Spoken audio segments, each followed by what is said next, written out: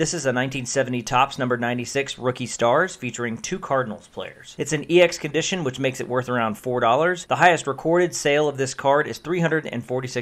Leron Lee was drafted 7th overall in 1966, then played 8 years in the majors. He never quite found his bat, and his defense wasn't great either, but then he left the US and played in Japan for 11 years with the Lotte Orions. He finished his Japanese career as one of the most successful American born players in Japan at the time. Jerry Reuss won 220 games as a starter for the Cardinals, Astros, Pirates, Dodgers, Reds, Angels, White Sox, and Brewers. He's one of two players to win over 200 games without having won 20 games in a single season. He also threw a no hitter on June 27, 1980, against the Giants. But it is Jerry.